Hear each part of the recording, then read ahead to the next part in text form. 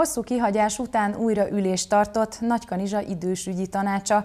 A ma alakuló összejövetelen az új delegáltak bemutatkozása mellett új alelnököket és titkárt is választottak. A hatályos SMS szerint a 15 fős tanács elnöke a város mindenkori polgármestere, a vezetőség ezen kívül még két alelnökből és egy titkárból áll.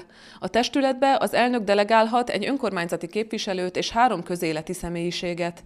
A város idősügyi szervezetei két főt delegálhatnak, mellettük helyet kap még a tanácsban az egyházak, az Egyesített Szociális Intézmény és a Családsegítő Központ képviselője, valamint a peremterületek delegáltjai. Ma reggel jött egy hír, az, hogy idős barát önkormányzati díjat kaptunk az elmúlt hosszú időszak eredményeiért.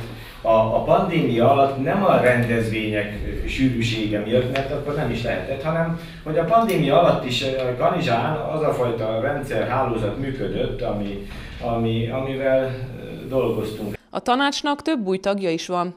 Az idősügyi szervezetek két delegáltja közül az egyik a város egyik legnépesebb klubjának, a Honvéd Egyesületnek az elnöke, Körtvélyesi Attila.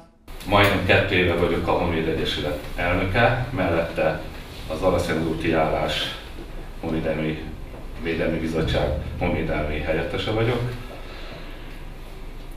Meglepett egyébként, hogy engem ide delegáltak, az új tagok mellett a tanácsban olyan személyek is helyet kaptak, akik már korábban részt vettek ebben a munkában. Én ezt örömmel fogadtam, és ahogy erőm, időm, energiám engedi, természetesen segítem ezt a munkát. Két alelnökkel működik mindig az idősügyi tanács, és hát a városrészi települések képviselői, az idősügyi kublok képviselői alkotnak egy 15 fős grémiumot. A tanács idén még három alkalommal tart tanácsülést, az idősek hetét pedig az előző évekhez hasonlóan november második hetére szervezik.